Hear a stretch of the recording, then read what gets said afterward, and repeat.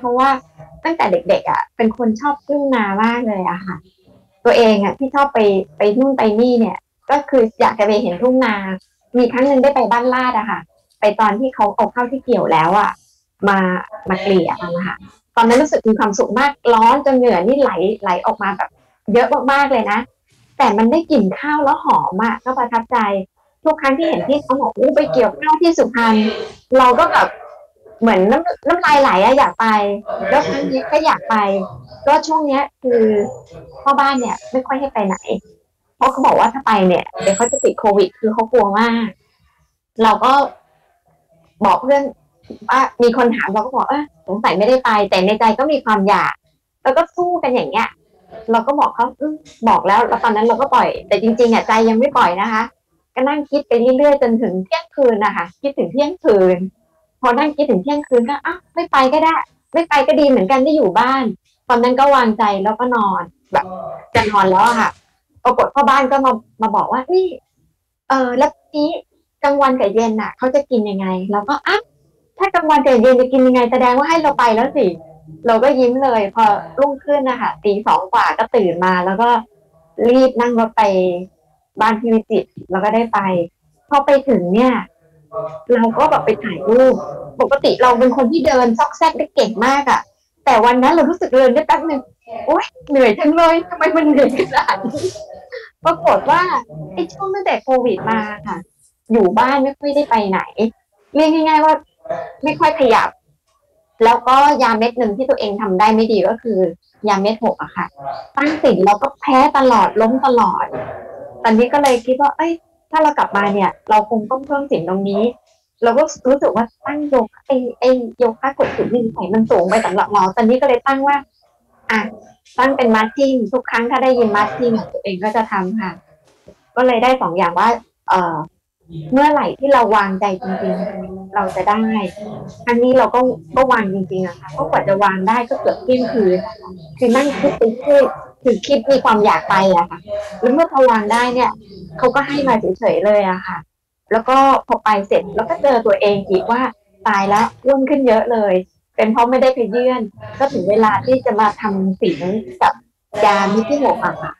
ค่ะ ขอรายงานเท่านี้ค่ะขอบคุณค่ะ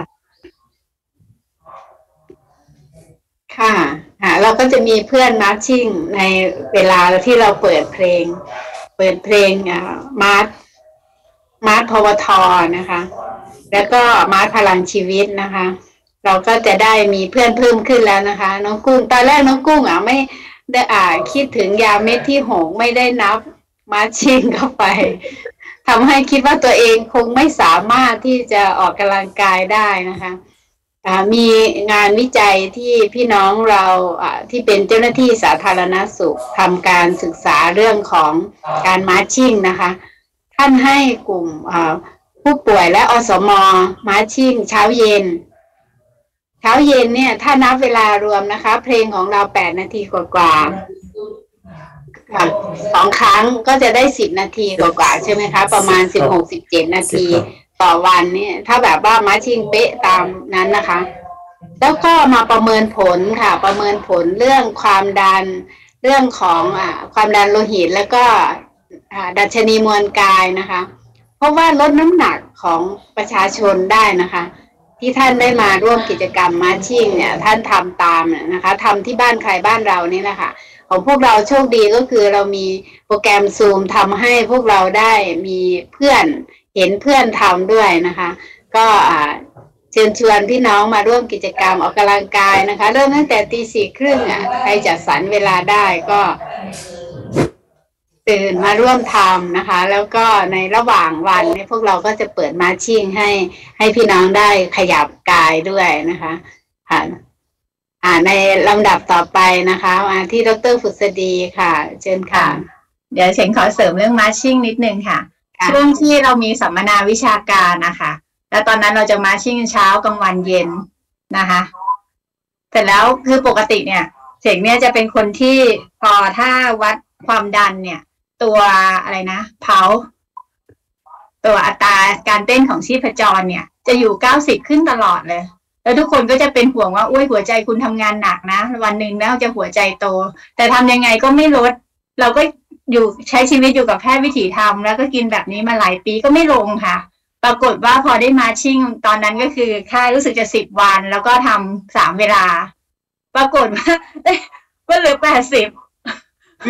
ลงมาค่ะ แล้วคือก็อ๋อเราก็เข้าใจแล้วว่าจริงๆ คือเราอาจจะทำเรื่องของแอโรบิกน้อยไปอะค่ะ แล้วการที่เราแกว่งแขนสูงเนี่ยก็คือช่วงของการออกกำลังกายช่วงหัวใจและปอดอะค่ะ พอเราได้ทำตรงนั้นต่อเนื่องอะค่ะ ตัวที่แบบว่าอ่าหัวใจที่ชีพจรซึ่งมันไม่รู้มันทำไมมันเป็นอย่างนั้นมาตั้งนานแล้วอยู่ๆเออลงได้เหมือนกันค่ะ เพราะฉะนั้นจริงๆ เนี่ยก็คือไม่ได้ทำอะไรยากเลยนะคะ แต่ละครั้งเนี่ยไม่ได้ยังไม่เหนื่อยด้วยนะ